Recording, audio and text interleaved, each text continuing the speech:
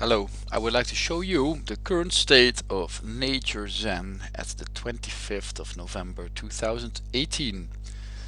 So uh, Nature Zen is the homepage with a, a, temporary logo, a lot of branches, we have more, the team has grown again. And let's take a look at the game. So I've just been merging a lot. Um, oh, so let's first go to the... So it starts with the title screen. A game should start with title screen. So this is the title screen. It has some music as well. You can't hear that.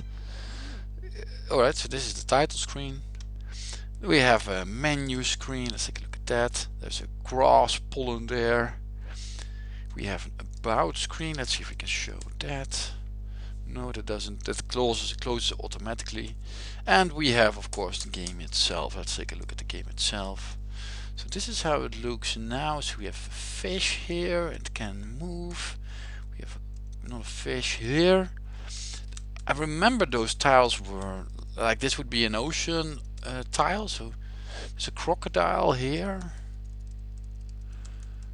And there's also some, there was a bacterium. Let's see if I can, can I see a bacterium? No, I can't see a bacterium. So at the moment I also these used to be grasslands tiles, these two, that's what I remember. But I can't merge them now. Alright, so, um, well, the core is still there. There's one colored tile here. A swamp or whatever, I don't know, I'm not sure what it is, or woods.